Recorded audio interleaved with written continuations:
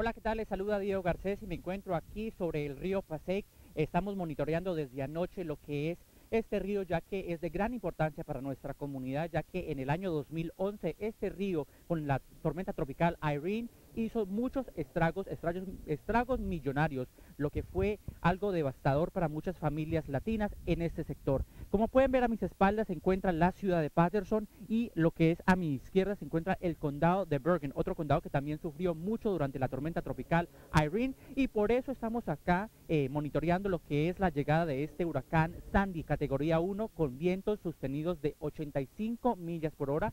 En estos momentos no se sienten mucho los vientos huracanados en ese sector y las lluvias empiezan a llegar. Por eso le decimos que se quede en casa ya que lo peor de la tormenta está empezando a llegar y se espera que llegue Sandy a nuestras cosas a eso de las 8 de la noche de hoy hacia el martes de mañana, o sea, hacia mañana martes. Eh, por eso seguimos acá, eh, le vamos a pedir a nuestro camarógrafo que nos muestre un poco el río Pasek en estos momentos, se encuentra bastante calmado. Eh, no hay mucho que podamos mostrar porque apenas están empezando a llegar las lluvias, pero continuaremos por estos eh, sectores para mostrarles, mostrarles qué es lo que está pasando en este sector de la ciudad de Patterson y del condado de Bergen. Recuerden estar conectados con nosotros a través del Facebook, del Twitter y a través de univisionnewyyork.com y a través de todas nuestras ediciones de Noticias Univisión 41.